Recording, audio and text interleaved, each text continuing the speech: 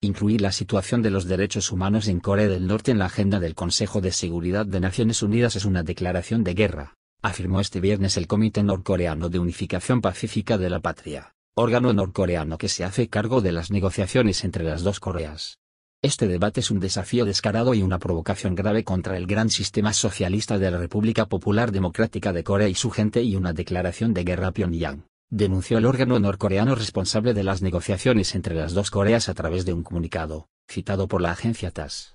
La misión norcoreana ante la ONU señaló por su parte que esta discusión está destinada a destruir el sistema ideológico del país. La cuestión sobre la situación de los derechos humanos en Corea del Norte fue incluida en la agenda del Consejo de la Seguridad el pasado lunes a petición de 10 de sus 15 miembros.